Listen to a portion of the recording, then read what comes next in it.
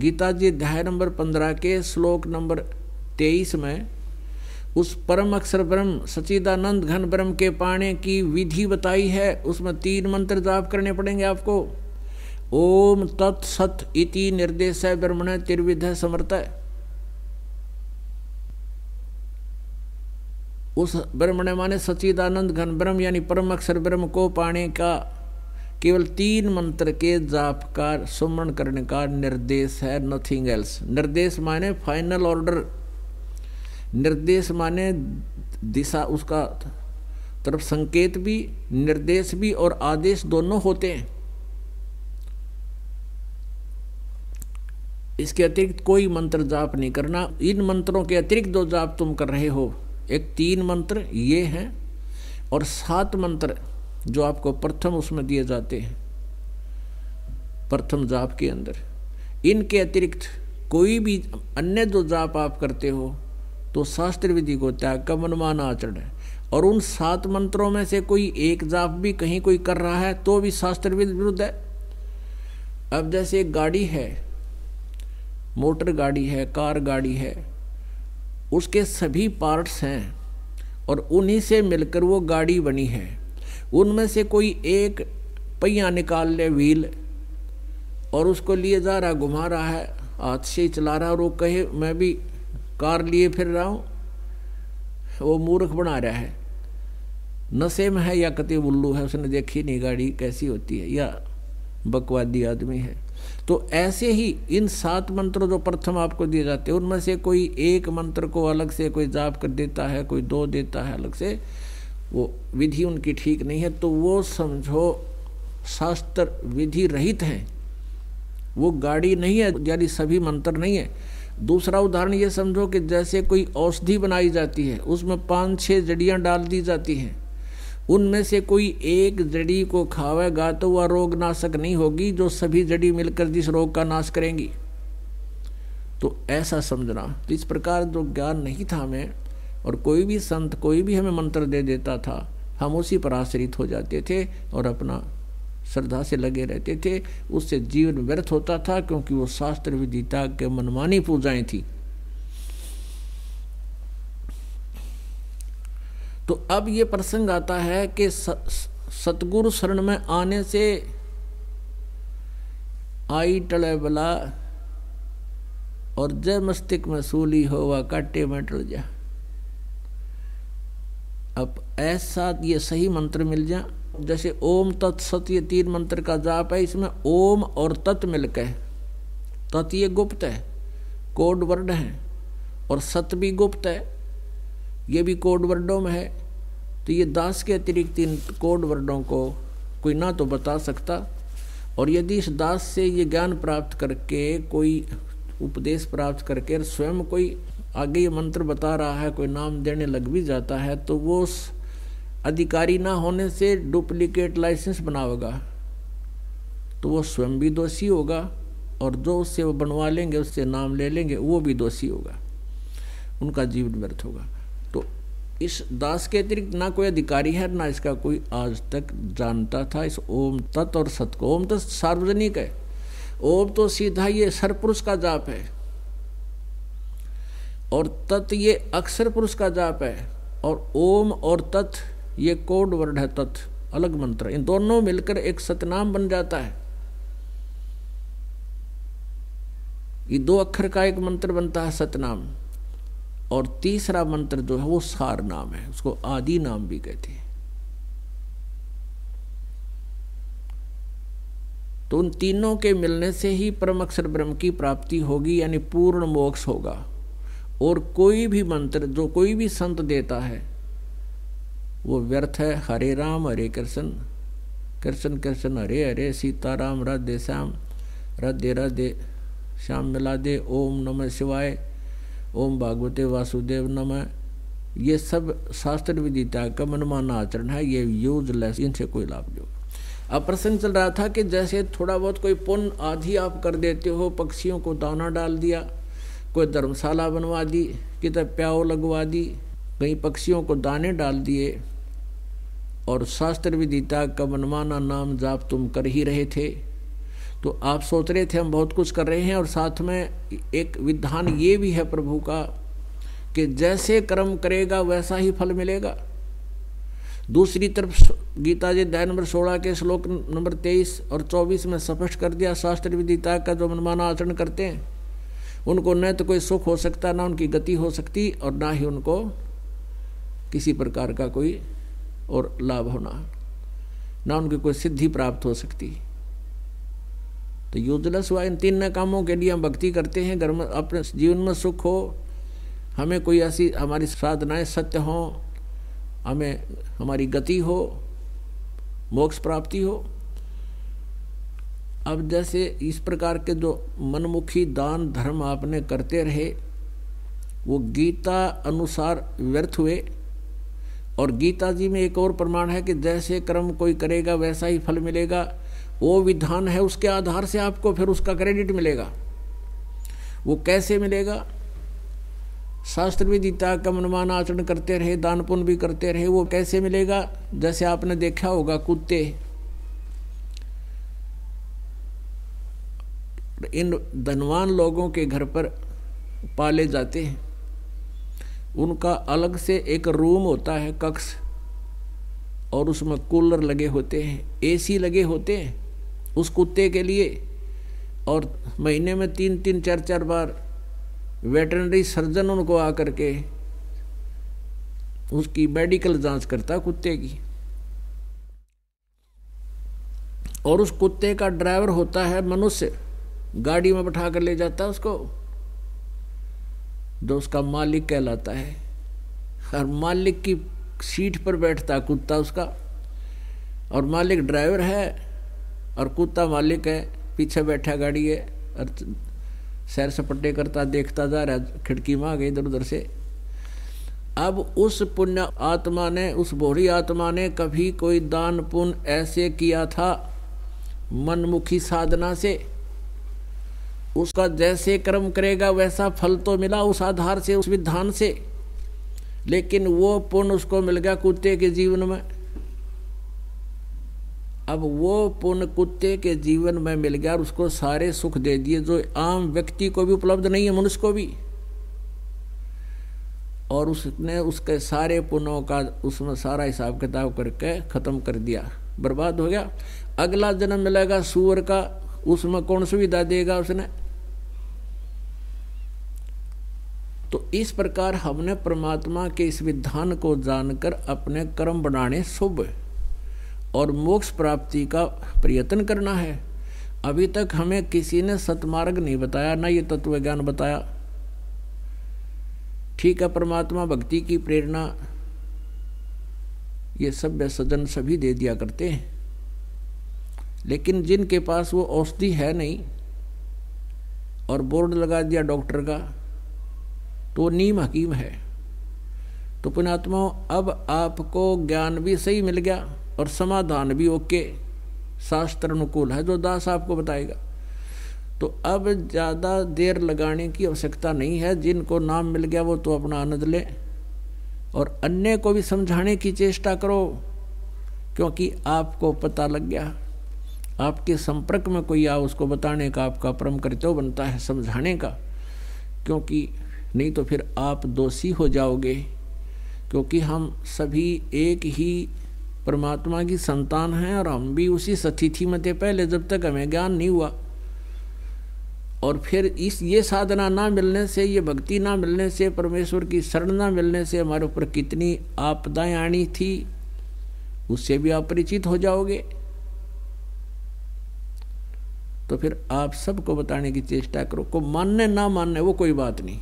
आपका कर्तव्य बना है एक बार उसको एक बार छेड़छाड़ ज़रूर करे, उसने समझाने की चेष्टा करे और भक्ति बता आप प्रेम से, चाहे वो आपको बुरा भी बोले काली नहीं माने, आपका फ़र्ज़ पूरा हुआ, आपने उसको परमात्मा का संदेश व चिट्ठी दे दी। अब वो माने ना माने वो फिर खुद जिम्मेवार है। आगे जाके जब ये प्राणी यहाँ संसार छोड़ कर जाता है तो उस संसार छूटते उसका सारी बात याद आ जाती है, तू के उद्देश्य लेकर आया था संसार में? और अब कर के रहा था। अब धर्मराज के यानी न्यायाधीश के पास जाकर तो उसको खड़ा कर दिया जाता है। अब न्यायाधीश पूछता है कि, बोल भाई, देखा तेरी गठड़ी खोल, क्या कमा के लाया तू? वो तो उसके पास वो भी होता है, सारा कुछ। तो उसको पता चल जाता है कहा मुझसे भूल होगी। अब वहाँ ये प्राणी एक बात कहता है ये। ये क्या कहता है कि हे भगवान, वहाँ जाके हमें भूल पड़गी, क्योंकि जब ये प्राणी संसार में आता है, उससे पहले इसको सब जो है बता दिया जाता है कि तू तो पीछे भी बहुत जन्म बिगाड़ चुके हैं मनुष्य के और अब क्या फिर तेरा दाव लग गया है? अपनी सत साधना करना, परम संत की खोज करना और शास्त्र अनुकूल साधना करके अपना जीवन सफल करना। तो ये यही सोच कर आता है। माँ के गर्भ में भी इसको याद रहती है। ये भगवान, इनका गलती बनी सो बनी। आगे कभी गलती नहीं करूँगा, आपकी भक्ति करूँगा। एक बार मुझे इस गंध से निकाल दो, माँ के गर्भ से बाहर कर दो। तो वहाँ तो इसको याद थी। जब ये यहाँ आया तो तीनों गुणों का एकदम प्रभाव हो गया। त्रिगुणमयी माया का ये फिर भी अचेत हो गया। तो इसको नए सिरे से जो जैसी पढ़ाई पढ़ा देता है उसी तरह शुरू कर देता है। तो फिर परमात्मा अपने सिर पर अब बाहर नहीं रखते, अपने सिर उलाना नहीं रखते। वो भी किसी ना किसी माध्यम से कोई संदेश उस तक पहुंचवा कर छोड़ते हैं। अब जगह जगह चैनलों पर चल रहा है, पुस्तक बांटी जा रही है। भगत बहन, भाई, आपस में जो मिलने वाले, उनसे भी चर्चा कर रहे हो तो उस तक संदेश पहुँचा दिया आपने। अब वो वहाँ जाकर के ये कहता है, धर्मराज के दरबार में, जब यहाँ लुट पिट कर चला जाता है, भक्ति ना करके, और कहने से भी नहीं मानता है, तब वो एक बात कहता वहाँ जाके ये भगवान, हमने पता नहीं चला। हमारे को किसी ने बताया नहीं, भक्ति कर लो। तब उसकी वो फ़िल्म चलाई जाती है। क्योंकि एक फ़िल्म तो हमारे अंदर कोड वर्डों में डिपॉजिट होती है, जो कर्म हम दिन रात करते हैं। और उसकी एक कॉपी भगवान के पास पहुँच जाती है, फैक्स हो जाती है, यहाँ से वो ईमेल हो जाती है। और भगवान के पास वो कॉपी होती है, उसको चला के दिखा देता उसकी सीडी को अगले तू क्या कह रहा है कि मेरे को किसी ने बताया नहीं? देखिए भक्त, ये बहन, क्या कह रही है तुझे? और तू क्या कह रहा है कि किसने देखा भगवान? मेरे पास समय नहीं है। तो फिर वो नीची गर्दन कर लेता हाँ परमात्मा कहा तो था इसने। तो पुण्यात्मा, ना तो आपका सिर उलाना रहे, भगवान भी इस बात में उड़ाने में नहीं आता। अब चेष्टा करो मनाने की कि उसके ऊपर पहाड़ टूटेगा तो परमात्मा वहाँ से भेज देता है कि चल, नरक में जा तू। तो इस प्रकार ये प्राणी वहाँ जाकर समझ पाता है कि मेरे से गलती बन गई। तो फिर क्या बने भाई? अच्छे दिन पाछे गए और गुरु से किया ना हेत। अब पछतावा क्या करे? या तो चिड़िया चुग्गी खेत। तो पुण्यात्माओं, आपका सौभाग्य है कि आपको परमात्मा का यू मार्ग मिला। और इस पर खरा उतरना है अपने। ये बातें कहन सुन की नहीं, कर पाड़न की है। अब फिर एक प्रसंग चला था कि सतगुरु शरण में आने से आई टले बला और जब भाग्य में मृत्यु दंड हो, सूली हो, वह काटे में टल जाए पहले मृत्यु दंड दिया करते थे, एक गोल चक्कर सा होता था और उसके बीच में एक सुराख होता था। और उसके ऊपर उस व्यक्ति को बाँध दिया जाता था गोल चक्कर के ऊपर। और उसके नीचे सुराख से एक भाला निकलता था, बहुत तेज नोक वाला। और उस व्यक्ति को वहाँ विवश कर दिया जाता था, उस बाँध दिया जाता था। और जब तक वो धीरे धीरे उसको छोड़ दिया जाता था अपने प्रेशर से अपने आप नीचे आता था। व्यक्ति तो हल टहल सकता नहीं था और वो भाला उसके नीचे से और धीरे धीरे धीरे धीरे सिर में से निकलता था। उसको सूली तोड़ना कहते थे। वो मृत्यु दंड ऐसे दी जाती थी। तो यहाँ परमात्मा कहते हैं कि संत शरण में आने से आई टले बला और जय मस्तक में सूली होवा काटे में टल जा। आपने ऋग्वेद मंडल नंबर नौ और सूक्त नंबर एक का मंत्र आठ और नौ में बहुत बार दिखाया है, फिर आने पर, समय आने पर दिखाएँगे। उसमें क्या लिखा है कि वो परम अक्षर ब्रह्म, पूर्ण परमात्मा, ये वेद ज्ञान दाता भी वही है जिसने गीता ज्ञान दिया। ये ब्रह्म सरपुरुष है। तो सरपुरुष कह रहा है कि वो परमात्मा तीन प्रकार से शरीर धार करके लीला करता है। तीन प्रकार के शरीरों में लीला करता है।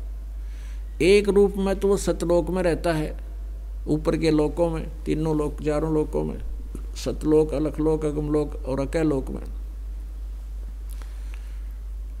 वहाँ तो उस परमात्मा के शरीर की इतनी शोभा है, जैसे एक रोमकूप में करोड़ सूर्य मिला दे, करोड़ चंद्रमा तो भी परमात्मा के एक रोमकूप की रोशनी अधिक है। और वो ट्रिपल रोल करता है। ट्रिपल। और दूसरे प्रकार का शरीर वो धारण करता है, जैसे प्रत्येक युग में एक नवजात शिशु का रूप धारण करके। और उसका विधान है कि वो सरोवर के ऊपर, वहाँ पर आकर के प्रकट होता है, कमल के फूल पे।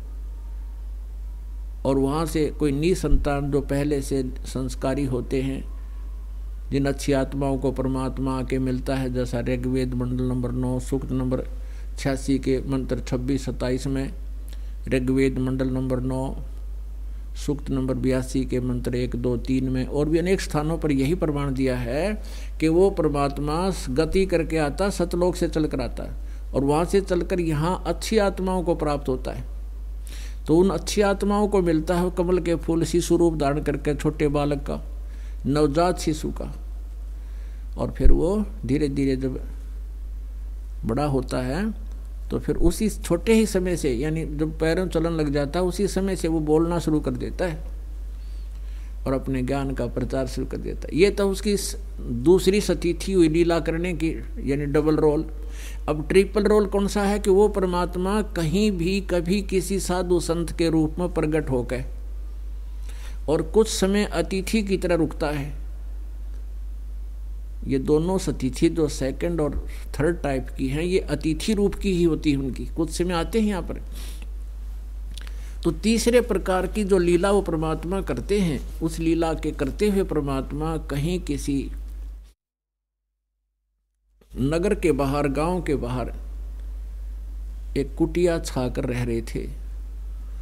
और परमात्मा वहाँ से निकल जाते थे क्योंकि पहले आज वर्तमान की तरह कोई ये ऐसा कोई साधन तो था नहीं वह कितने वेरीफाई करने ये संत कहाँ रहता है।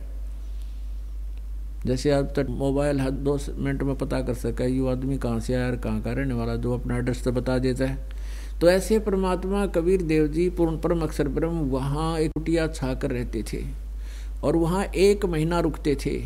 फिर कहते थे अभी मैंने दूसरे वहाँ पर भी मेरा एक आश्रम है, मैं वहाँ भी जाता हूँ। एक एक महीना सभी आश्रमों में रुकता हूँ। तो मुझे यहाँ आने में आपको एक महीना ही दे सकता हूँ। तो वो एक महीना जब आते थे तो वहाँ जैसे भी बीस तीस भक्त उनके शिष्य थे, ऐसा छोटे छोटे गाँव होया करते। को चालीस घर का कोई पचास घर होते थे, किसी में झोपड़ियाँ सी होती थी, पुराने समय की बातें। तो उस समय वो परमात्मा वहाँ एक महीना आकर एक संत वेशभूषा में रहा करते थे। उपदेश देते थे, उनका कल्याण करते थे। बड़े दयालु हैं। वो जगह जगह आकर अपनी पुण्यात्माओं को संभालते रहते हैं और उनसे शुभ संस्कार बनवा जाते थे। उनको ये तो पता था कि ये लोग अभी ज्ञान को नहीं समझ सकेंगे, क्योंकि तत्व ज्ञान तो सदग्रंथों उसके आधार से ही सामने आएगा। तो परमात्मा कलयुग के भी इस प्राइम टाइम आपको पहुँचाने के लिए रह रह कर कहीं कहीं मिलते रहते और आपके पुण्य करवा जाते थे। जिससे आपको मनुष्य शरीर भी मिलता रहा। तो ऐसे ही परमात्मा वहाँ लीला कर रहे थे। उस नगर के दस, बीस, तीस जितने भगत थे, पंद्रह थे या बीस थे, उन्होंने अपने वो जब संत जी वहाँ आते थे, एक दो उनका शेष होता था तो उन सब के भोजन की व्यवस्था उन्होंने अपनी पारी बाँध रखी थी टर्न वाइज करते थे। जैसे एक दिन एक परिवार भोजन कराएगा, सबको सुबह भी, शाम भी। और अगले दिन दूसरा परिवार कराएगा, उपदेशी नेक्स्ट डे दूसरा कराएगा। तो ऐसे किसी एक भगतमती की पारी आ गई। और उसने खीर बनानी होती है, क्योंकि गुरुदेव का बहुत दिनों में जो है दाव लगे, हमारा अपने सेवा करने का बढ़िया भोजन बना के ले जाते थे। तो खीर बनाना अनिवार्य था। उसका दूध फट गया। अब दूध फट जाने से चिंतित हुई। उसने देखा एक पड़ोस के अंदर एक बहन है, विधवा है। नाम उसने उपदेश नहीं ले रखा था। उसके पास गाय थी, दूध था। उसके पास गई। अब जाते ही कोई वस्तु मांगनी होती है तो एक औपचारिक वार्ता प्रारंभ होती है। कुशल मंगल पूछा जाता है। वो बहन गई, उसने आदर सत्कार से बैठाया कि बैठ जा बहन। तो उस बहन ने पूछा, दो उपदेशी थी कि बहन कुशल हो? वह रोने लगी, वह बहन जो विधवा थी। कहने लगी, बहन, क्या कुशल तो नहीं हो? पहले तो पति मेरा उसका दुख अभी तक नहीं भूल पाई थी। इकलौता पुत्र है। सोचा था कि इसको पाल पोस कर बड़ा कर दूँगी। भूल पड़ेगी दुख की। अब ये ऐसा नालायक हो गया, शराब भी पी पीवे, बीड़ी का पीवे, मेरी मानता ना कती। और सारा दिन पता नहीं कहाँ रहता है, ना कोई काम करता। यूँ कहकर वो रोने लगी। तो उस बहन ने कहा कि जो उपदेशी थी कि बहन, बात सुनो। आप यहाँ सारा दिन चिंता में रहती हो। आप कुछ देर हमारे साथ सत्संग में चला करो। गुरु जी सत्संग करते हैं इस दिन को। यानी घंटा, दो घंटा डेली सत्संग करते हैं, चार बजे से तो चला करे। तो कहने लगी, बहन, मैं नहीं जा सकती सत्संग में। क्यों नहीं जा सकती? क्योंकि पहले तो मैं विधवा और यदि मैं घर से बाहर जाऊँगी तो सबकी नज़र मेरे ऊपर होती है, ये कहाँ जा रही है? और तुम्हारे तो पति हैं बहन, तुम्हें तो कोई टोक नहीं सकता। मैं नहीं जा सकती। तो उस बहन ने काफ़ी कुछ समझाने की चेष्टा की, नहीं मानी वह। फिर प्रार्थना की कि बहन ऐसे ऐसे मैंने अपने गुरुदेव का आज आहार कराना था। मेरी पारी थी, मेरा दूध फट गया, खराब हो गया। और दूध दे दे मुझे, तेरा उधारा दे दूँगी, कल दे दूँगी। मैंने खीर बनानी है। तो उस बहन ने दूध निकाल कर बाल्टी में रख ही रखा था, नू का नू। वो सारा का सारा उसके पात्र में डाल दिया अकले जब अब उस उपदेशी बहन ने कहा कि कुछ तो रख ले तू अकना सारा ले जा। और मेरा भी पुण्य में लाग जाएगा कि तय अब इस बात से वो भी बड़ी प्रभावित हुई, वो बहन उपदेशी थी कि इस तरह तो मैं भी दूध ना दे सकती, मैं तो नाम ले रही हूँ जिस तरह इसने यह तो है तो पुण्यात्मा, पर बिचल गई है यहाँ पर बिना ज्ञान के। तो वो दूध लेगी, खीर बनाकर संत भक्तों को खिला दिया। अब पुण्यात्माओं यहाँ से शुभ कर्म शुरू हो गए उसके। अब उस बहन ने सोचा उपदेशी ने कि यह है अच्छी आत्मा, जब इसका इतनी सेक्रीफाइस इसके अंदर इतना ये हिम्मत करती है, इसने सारा दूध निकाल कर दे दिया, आप भी नहीं रखा तो फिर वो धीरे धीरे वहाँ जान लग गई उसको चर्चा सुनावे। बेबे न्यू है, भगवान की भक्ति की कथा दो सत्संग में सुनकर जाती, उसके पास चर्चा कर दे। बस दस मिनट, बीस मिनट, जैसे सात घंटा घंटा, बड़ा खूब सुनन लगी। धीरे धीरे वह दो दो तीन तीन घंटे सुनने लगी। फिर प्रार्थना करी उस बहन ने कि आप नाम लो। वहाँ रहोगे तो आपकी टेंशन भी ख़त्म होगी। दिमाग में, हर समय आपके यही बात बनी रहती है। आपका जीवन का उद्देश्य ही खत्म हो चुका है। जिस तरह आप सोच रहे हो हाँ बिल्कुल हो चुका है। मालिक कहते हैं सौछल छिद्र मैं करूँ अपने जन के काज। और कहते हैं, कबीर कमाई आपनी, कदे न निष्फल जा सात समुद्र आडे पड़वा मिलाया हुआ। वो पुण्य उसने शुरू किया था, उसी का प्रतिफल मालिक ने देना शुरू किया। उसके अंदर प्रेरणा की क्रय करावे साइया मन में लहर उठा और दादू सदर जीव का वो आप बगल हो जा।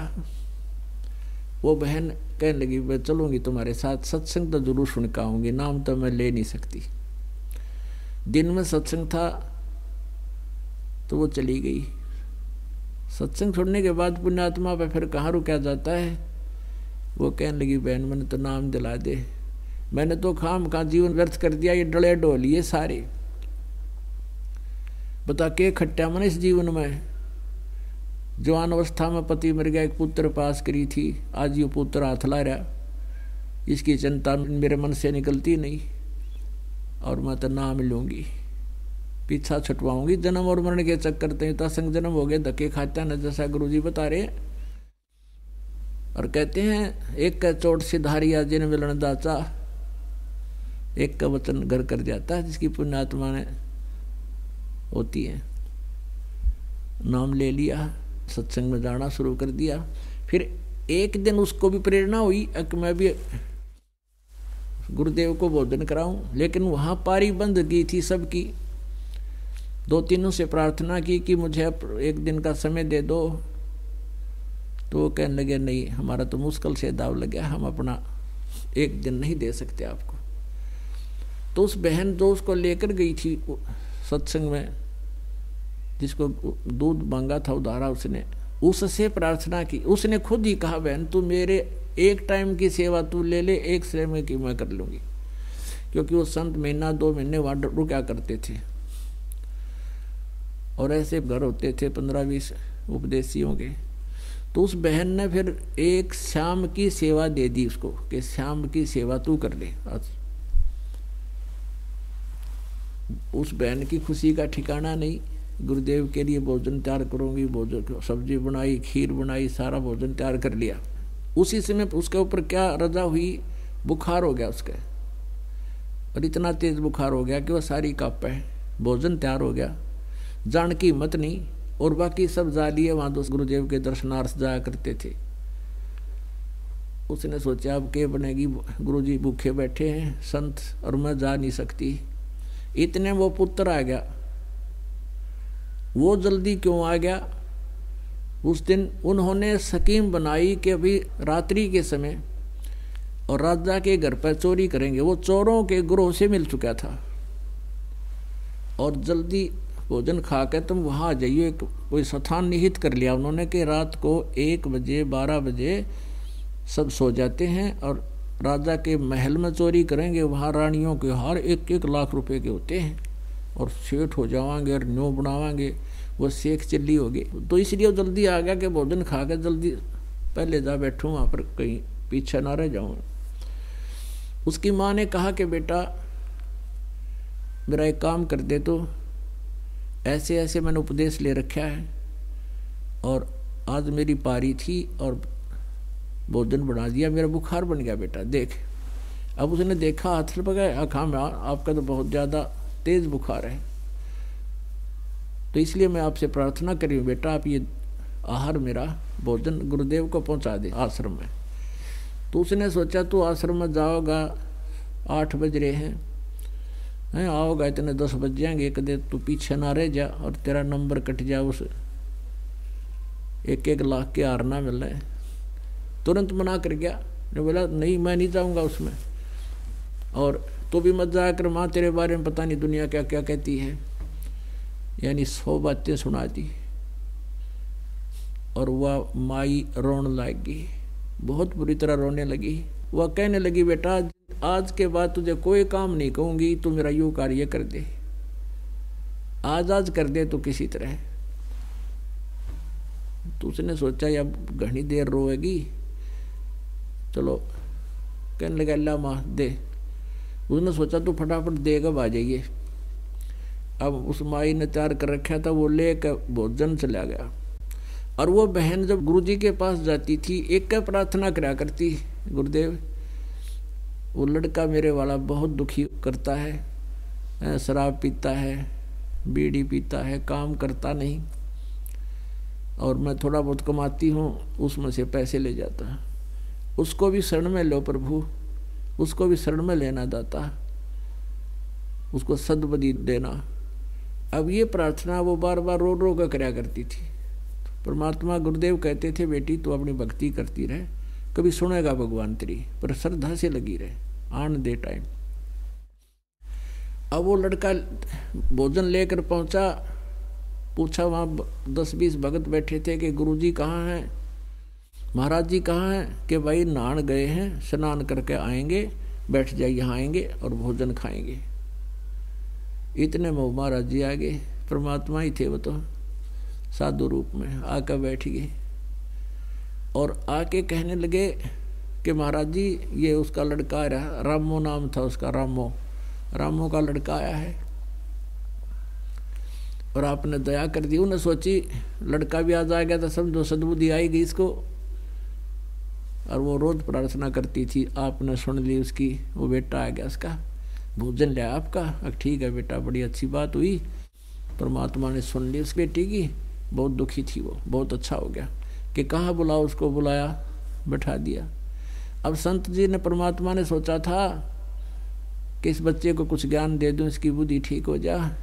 खाना सामने रखा था, महाराज जी बताने लगे, बेटा, मनुष्य जीवन परमात्मा पाने के लिए होता है। भक्ति नहीं करते, वो दुखी होते हैं। परमात्मा की भक्ति करनी चाहिए, सत्संग माया करे, उपदेश ले ले।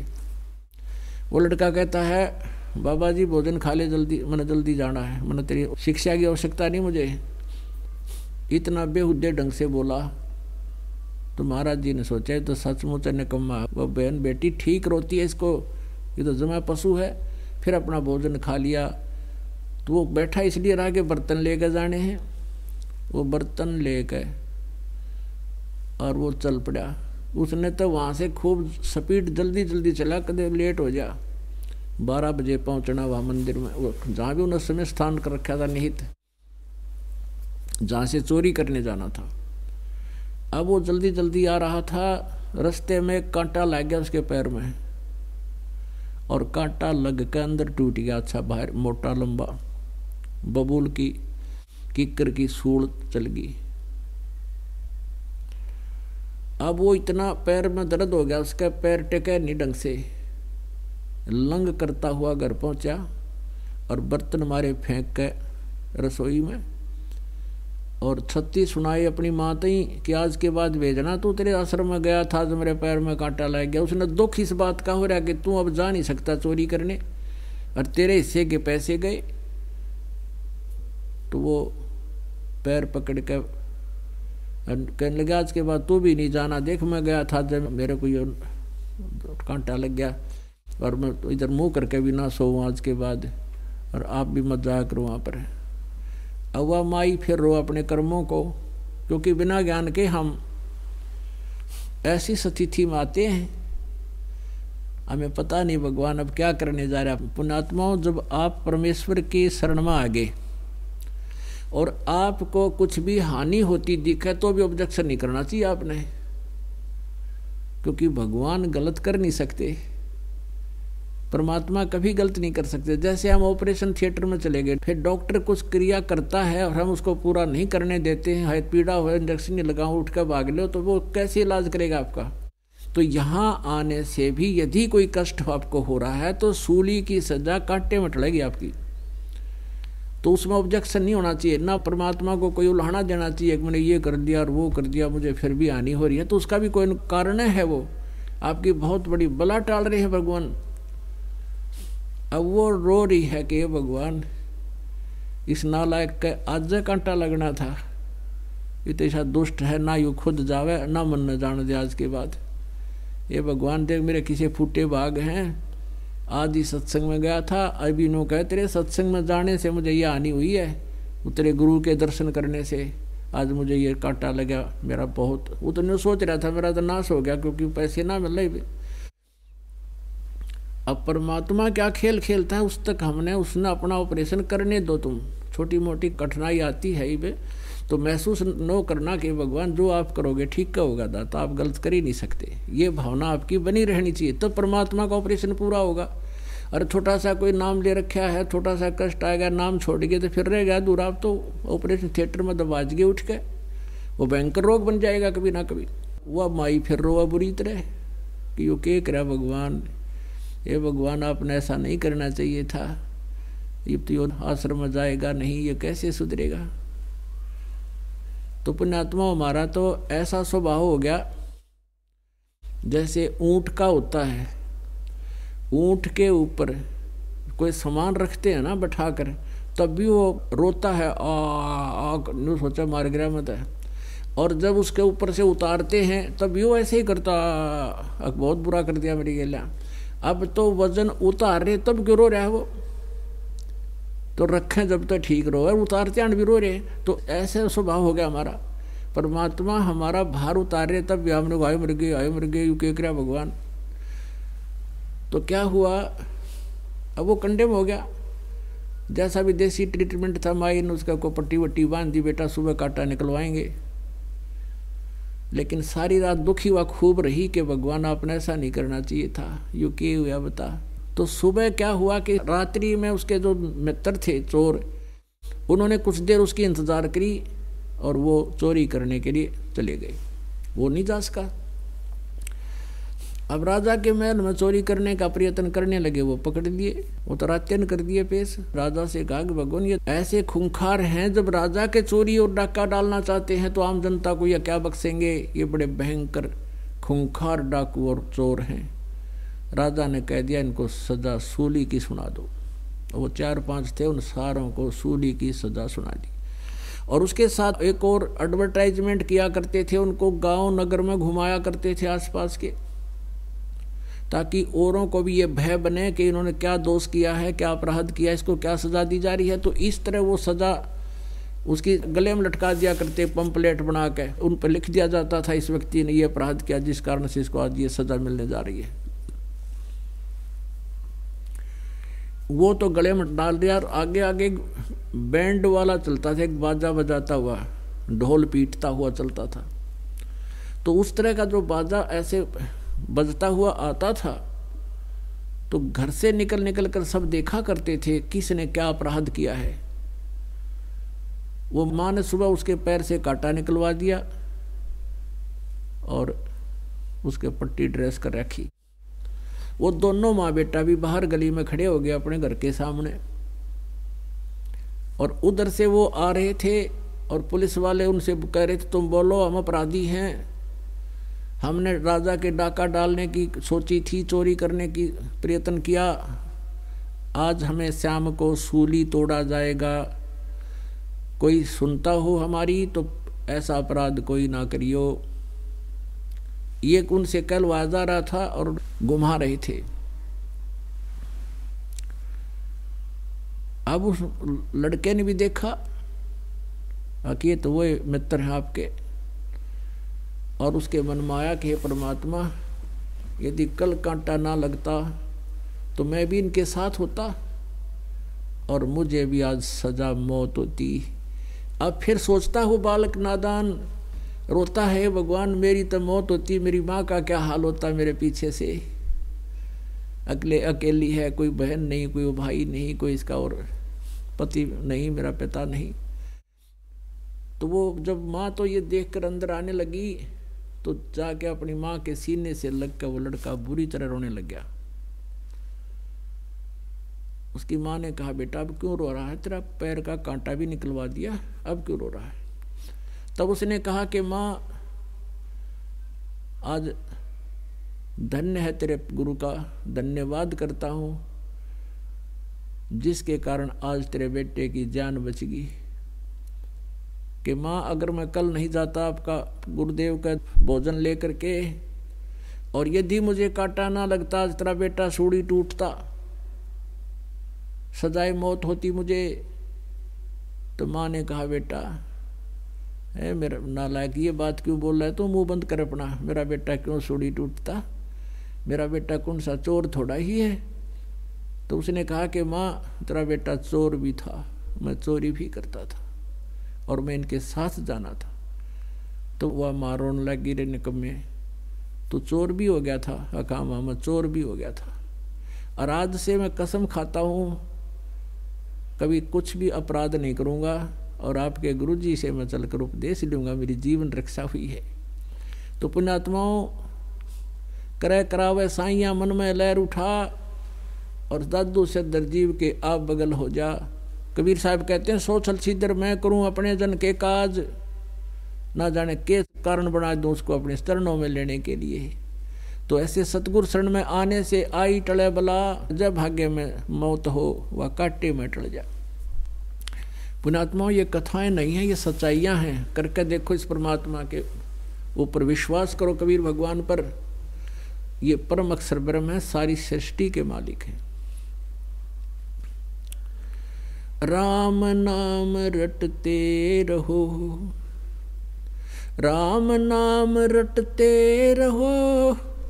जब तक घट में प्राण कभू तो दीन दयाल के हे, भनक पड़ेगी कान। अब उपदेश लेने के बाद आप जी ने आखिरी सांस तक भक्ति करनी है। कहते हैं, जैसे कोई गेम है, खेल रहा है बच्चा तो उस गेम के लास्ट गेम तक लास्ट मैच तक उसने सतर्कता से और नियमित खेलना पड़ेगा, तब वो सफल होगा। तो पुणात्मा यहाँ हम इस काल के लोक में हैं और हमने यहाँ से मोक्ष प्राप्ति के लिए ही जीवन प्राप्त हुआ है। यह मनुष्य जीवन केवल मोक्ष प्राप्ति के लिए है। ये समझ लो कि हमारे जन्म और मृत्यु का रोग लगा हुआ है। और हम इसके ट्रीटमेंट के लिए कोई दूसरा साधन अपना रहे हैं? तो वो हॉस्पिटल गलत हैं, वो तरीके गलत हैं, जन्म और मृत्यु के और पाप कर्मों के नाश करने की जो औषधि यानी मंत्र, जाप विधि, शास्त्र विधि, त्याग का जो मनमानी की जाती है, उन, वो व्यर्थ हैं। अब आपको यहाँ इस जन्म और मृत्यु के रोग को जड़ से निकालने वाला यानी नाश करने वाले हॉस्पिटल में प्रवेश मिल गया। आप यहाँ एडमिट हो गए और आपको छुट्टी तभी मिलेगी जब आप स्वस्थ हो जाओगे। तो आप स्वस्थ हो जाओगे तो यहाँ से चले जाओगे, क्योंकि ये तो हॉस्पिटल है।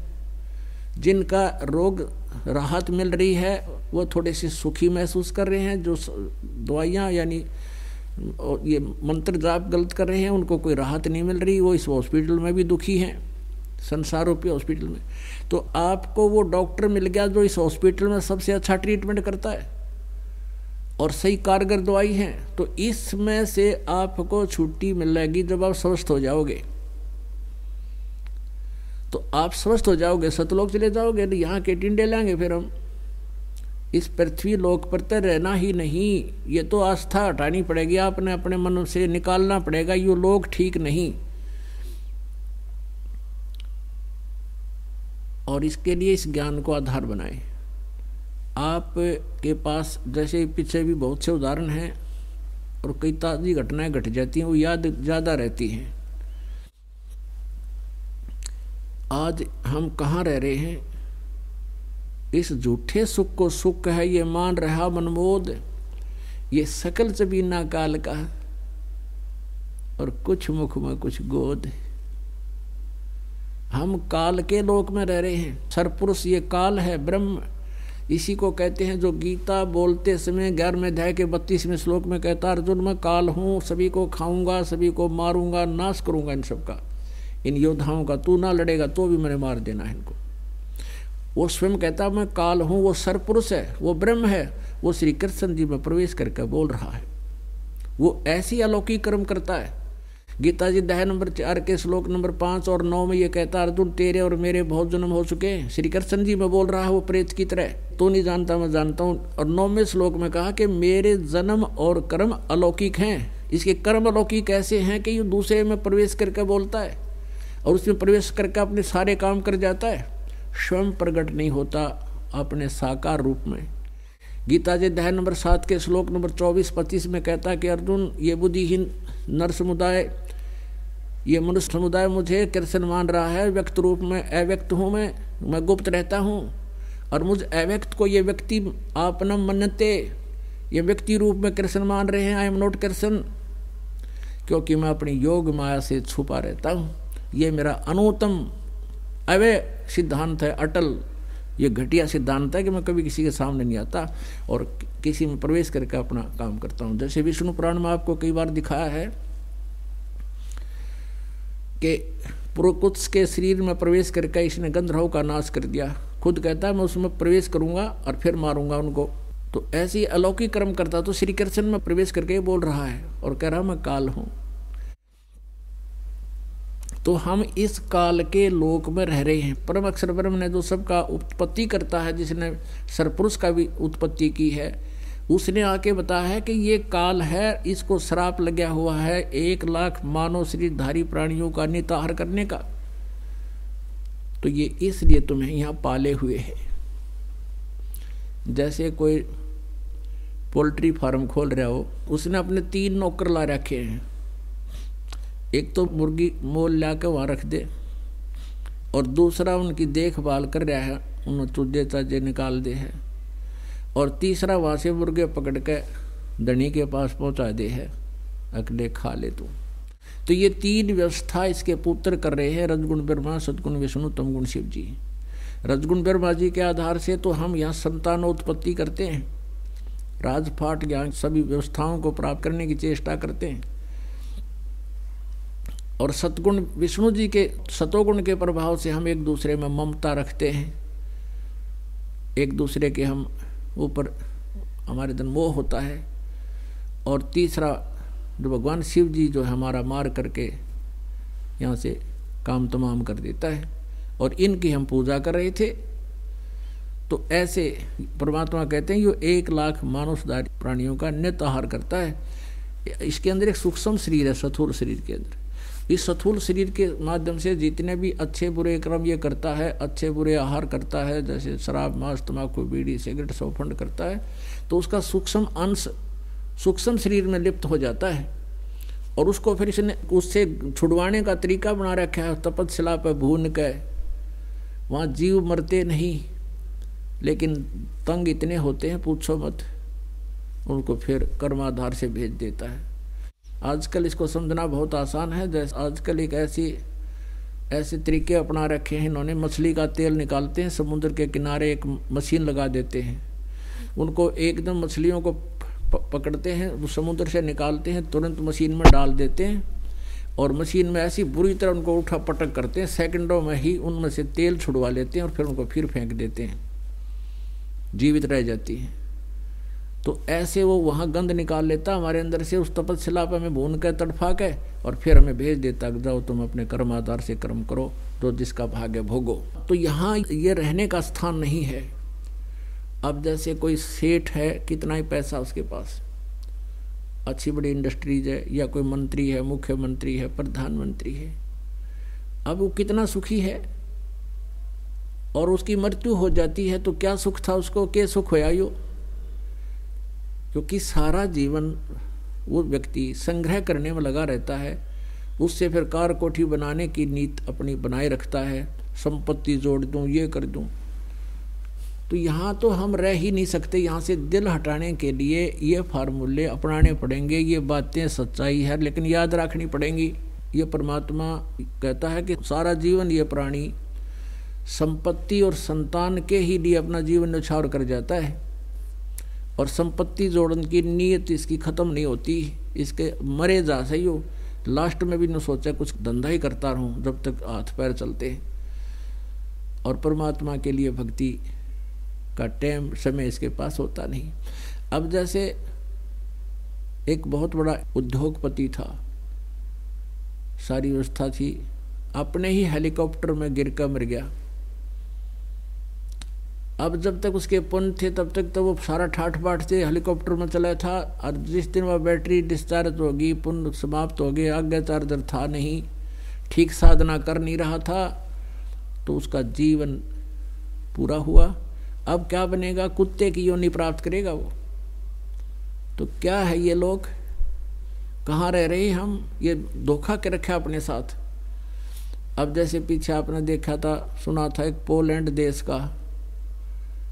पूरा मंत्रिमंडल जिसमें पचानवे छियानवे व्यक्ति थे, एक जहाज़ में बैठ कर जहाँ थे, किसी का दुख व्यक्त करने, शोक व्यक्त करने, हम किसी की मृत्यु पर।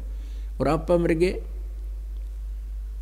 पचानवे छियानवे थे, सारे के सारे एक के दिन, एक के सेकंड में खत्म हो गए कुछ एक क्षणों में। उनकी कितनी आशाएँ थी, कितनी उम्मीद थी उन लोगों की? अब कहाँ गई वो? जो काम करना थे मनुष्य जीवन से, वो तो किया नहीं, भूत बने फिरेंगे कि पीछे दो साल, तीन साल पहले की बात है, एक पेपर में आया था समाचार पत्रों में। एक बहुत बड़ा राजनेता था। उसके साथ पाँच सात उसके चेले चपटे और वो हेलीकॉप्टर में जावा था। वो हेलीकॉप्टर से मर गए पड़ के एक्सीडेंट हो गया। उससे मर गए। वो पाँचों छः उड़े भूत बन रहे हैं, पूरे गाँव ने दुखी रखे। और फिर उनका जंतर मंतर करवाया तो उन्होंने कहा, हमारा महल बनाओ। वह एक चबूतराहा बना के, उनकी पाँच इतने इतने हैं वो बना रखे हैं, नारे नारे, अलग अलग। हाँ वो वहाँ कोठी बनवा रहा है। और तो भक्ति करनी थी, वो करी नहीं गई, आज वहाँ भूत बना फिरा है। ऐसे ही एक इसका आंध्र प्रदेश के मुख्यमंत्री हेलीकॉप्टर में जावे थे। अब जो मुख्यमंत्री है, उसकी कितनी उमंग और कहाँ कहाँ उसकी पार्टियों की इंतज़ार होती है? यहाँ आएँगे आगे से आगे उनके ऊपर। और वो वहाँ, उसका ये नहीं पता कहाँ मरा हुआ पड़ा है। तीन दिन में जाकर लाश मिली थी उसकी। ऐसे अरुणाचल का एक मुख्यमंत्री सात दिन में सौ पाया था। उसके टुकड़े टुकड़े हुए, गादड़ के सीटें थे। और कई साल पहले की बात है, एक पंजाब और हिमाचल प्रदेश का गवर्नर था।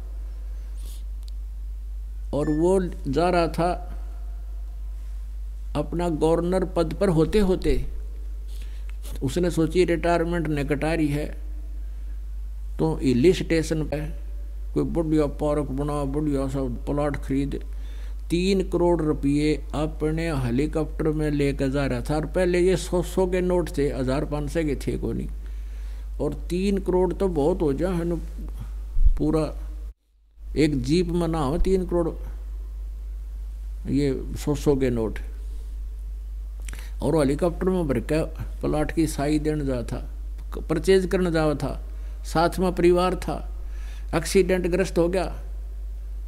और वो नोट किया गया उड़ते अंडा उड़ा गडरी उठा के ले गए उन्हें, और भेड़ खाओ उनके कागजा ने उन्हें, हैं? और वो वहीं मर गया। परिवार का भी गले नाश हो गया। अब चाट ले उसने इली स्टेशन में, उड़ा कितने भूत बने अंडेगा या कितने चूहा बन के धक्के खाओगा। अब सारा जीवन खो दिया। जो काम करना था मनुष्य जीवन से वो करा नहीं, पिछले पुण्य थे, इतने सारे ठाठ रहे बड़े बड़े पद प्राप्त हुए। और जब आगे चार्जर लगा नहीं, वह बैटरी डिस्चार्ज हुई, जब ये दुर्गति होती इस प्राणी की, ये भगवान हम सभी के लिए संदेश देता, किसी एक व्यक्ति विशेष के लिए नहीं, हमारे साथ भी यही बनेगी जब हम भक्ति नहीं करेंगे, भगवान की शरण नहीं ग्रहण करेंगे। तो यहाँ से तो आपने ये समझ लेना पड़ेगा कि ये लोग ठीक नहीं। तो फिर हमें ये सुख कैसे होगा? हमारा ये जन्म और मृत्यु का रोग कटे तो उसके लिए क्या बताया है कि राम नाम रटते रहो। राम नाम रटते रहो, जब तक घट में प्राण। कभू तो दीन दयाल के है, भनक पड़ेगी कान। किसी भी सदग्रंथ को आप उठाकर देखिएगा जो सदग्रंथ है। श्रीमद् भगवत गीता में कहा कि अर्जुन, आठवें अध्याय के पाँच और सात श्लोक में ये सरपुरुष गीता ज्ञानदाता कहता है, जब मेरी भक्ति करनी है तो मेरा भजन भी कर और युद्ध भी कर, मुझे प्राप्त होगा। अब इसका कहने का तात्पर्य यह है कि मेरी शरण में रहना है तो मेरे ओम नाम का जाप कर आठवें अध्याय के तेरहवें श्लोक में गीता जी में कहा कि ओम इति एकाक्षरम, ब्रह्म व्यवहारण माम अनुसमरण ये परियाति तजन देहम सयाति परमाम गतिम मुझ ब्रह्म का केवल एक ओम अक्षर है नथिंग एल्स ये बाकी के जो मंत्र जाप किए जाते हैं, हरे कृष्ण कृष्ण राधे राधे श्याम राधे ये पाँच ओंकार अलंकार सोहम और सतनाम ज्योति निरंजन, ये ये नाम नहीं है। और जो काल मूर्त सब स्वरूपी राम सतपुरुष ये मनमुखी मंत्र है। ये कोई मंत्र नहीं जाप करने के। और तो इस तरह कोई दो अक्षर बना लेता है एक अक्षर को तो वो भी ठीक नहीं है जाप। यानी इस मंत्र को छोड़ के ये सरपुरुष का मंत्र है। कहता, मेरा तो केवल एक ओम मंत्र है नथिंग एल्स और इसको अंतिम सांस तक, शरीर छोड़ने तक जो त्याग कर सुमन करता हुआ जाता है सयाति परमाम गति। जो ब्रह्म से, यानी ओम से मिलने वाली जो गति है, वह परम गति, यानी ब्रह्म लोक केवल इस ओम नाम से प्राप्त होगी। लेकिन ये ब्रह्म लोक पर्यंत गए हुए प्राणी भी जन्म मृत्यु आते हैं। आठवें अध्याय के सोलहवें श्लोक में गीता जी में कहा कि ब्रह्म लोक पर्यंत, ये सभी लोग पुनरावर्ती में है, यानी वहाँ गए हुए प्राणी भी लौट कर पुनः क्षीण होने पर पृथ्वी लोक पर आते हैं और अन्य प्राणियों के शरीरों को भी प्राप्त होते हैं। अब यहाँ अनुवादकर्ताओं ने थोड़ी सी गलती की है आठवें अध्याय के सोलहवें श्लोक में उन्होंने ये किया है कि ब्रह्मलोक पर्यंत सभी लोग पुनरावर्ती में ये तो ठीक कर दिया। आगे लिख दिया कि मुझे प्राप्त प्राणी का पुनर्जन्म नहीं होता। ये अनुवाद गलत है। उसका अर्थ ये बनता है कि जो ये नहीं जानते, न विद्यते अब विद्य का अर्थ केवल है नहीं होता। विद्य माने जानना, विद्या। तो जो ये नहीं जानते, मुझे प्राप्त होकर भी कुंते। पुनर्जन्म उनका पुनर्जन्म होगा। जो ये नहीं जानते कि ब्रह्म लोक पर्यंत प्राणी सभी जन्म मृत्यु को प्राप्त होते हैं, पुनरावृत्ति में हैं, जो ये नहीं जानते, मुझे प्राप्त होकर भी पुनर्जन्म है उनका। इसका अर्थ तो ये बना है। यदि उनकी अन्य का जो अनुवाद ये मान्य है कि ये कहे है गीता ज्ञानदाता कि उनका फिर पुनर्जन्म नहीं होता, मुझे प्राप्त हो गए। तो गीता जी अध्याय नंबर चार के श्लोक नंबर पाँच और नौ में, गीता जी अध्याय नंबर दो के श्लोक नंबर बारह में और गीता जी अध्याय नंबर दस के श्लोक नंबर दो में गीता ज्ञानदाता कहता है कि अर्जुन तेरे और मेरे बहुत जन्म हो चुके तू नहीं जानता, मैं जानता हूँ। तो फिर ये कहना कि मुझे प्राप्त होकर के पुनर्जन्म नहीं होगा तो ये, या अनुवाद गलत है बोल पाठ ठीक है, समझ नहीं सके ये। तो इस प्रकार तो यहाँ कहता है कि अंतिम सांस तक आपने यह साधना करनी पड़ेगी। ओम इति एकाक्षरम ब्रह्म व्यवहारण मामनुसमन यह परियाति तजंदेहम शरीर छोड़कर जाते समय तक बेरा ओम नाम का सेवन करता हुआ जाता है सयाति परमाम गति वो परम गति सुख को प्राप्त होगा जो ओम से मिलनी है। अपनात्मा ओम से मिला हुआ ब्रह्मलोक में गया, ब्रह्मलोक में भी जाए, पाछा मृत्यु जन्म हुआ। तो ये पूर्ण ट्रीटमेंट नहीं हुआ। इसलिए गीता जी अध्याय नंबर सात के श्लोक नंबर अठारह में गीता ज्ञानदाता कहता है, मेरी साधना भी अनुतमाम है। मेरी गति, यानी ओम से मिलने वाली परम गति भी अनुतमाम गति घटिया है। क्योंकि इसमें जन्म मृत्यु समाप्त होती नहीं, और फिर अगला जन्म फिर तैयार ऐसे ही। ब्रह्मलोक में गए, फिर पुनरावृत्ति में, फिर जन्म मृत्यु में। और साथ में ये भी क्लियर कर दिया कि मेरी भक्ति करने वाले को शांति नहीं हो सकती। आठ में दया के पाँच और सात में कहा, अर्जुन तुम मेरे ममन मन वाला बन, मेरा भगत बन और युद्ध भी कर तो मुझे ही प्राप्त होगा। Don't worry